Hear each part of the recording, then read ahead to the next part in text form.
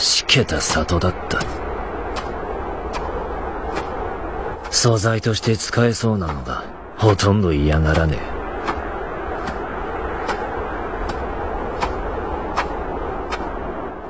次は当たりだといいが。風の国に点在する忍び里がたった一夜で潰される事件を何度か耳にした。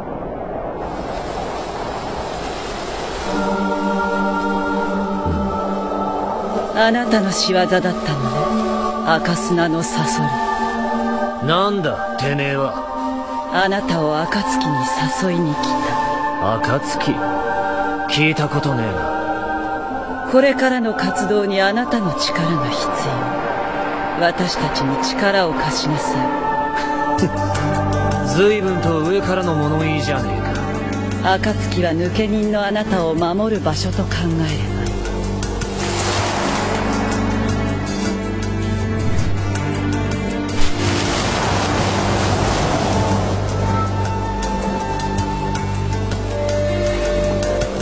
仕事さえしてくれればあとは何をしてもお咎めはない。なるほど。悪い話じゃ。ない悪い話じゃないな。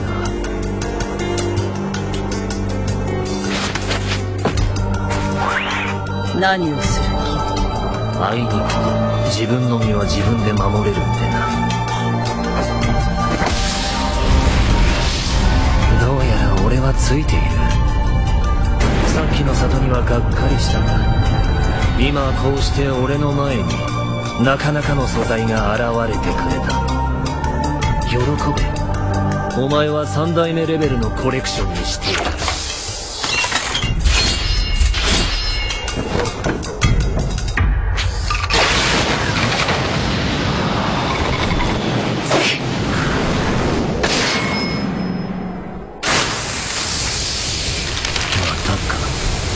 さっきからなんだこの術は。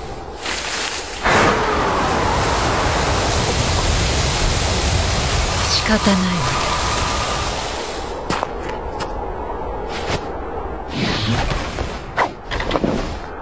わだったら。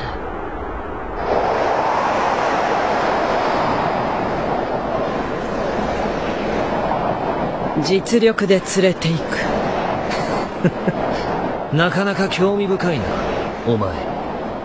徹底的に調べてやる。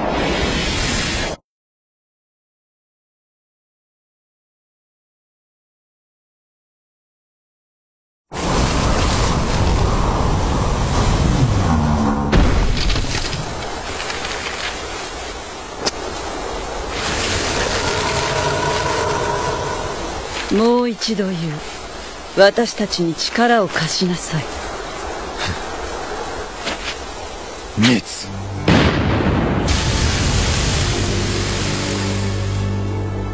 負けた俺に選択肢はない。どこにでも連れて行け。思いのほか物分かりがいいわね。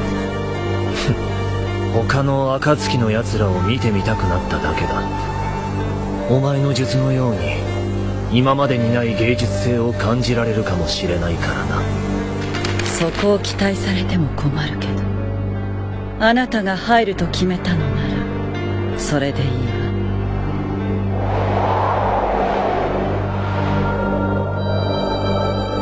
こちらもうまくいったようだな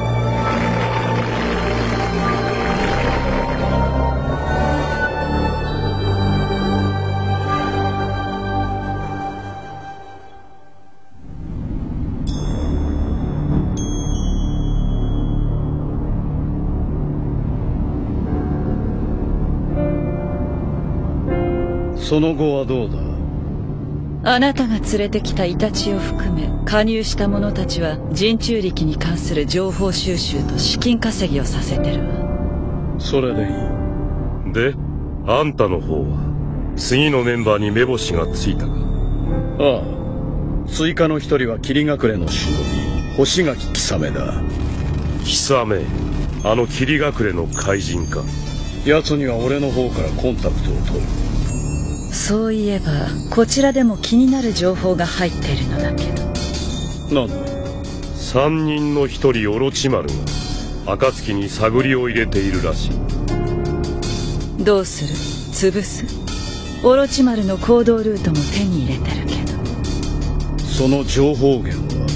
確かサソリの部下だとか。フェインこの件はお前とサソリで当たれ接触後の対応は任せる。わかった。